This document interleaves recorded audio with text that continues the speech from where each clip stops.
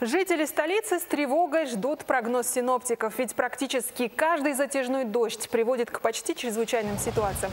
И тут уже одним зонтом не обойтись.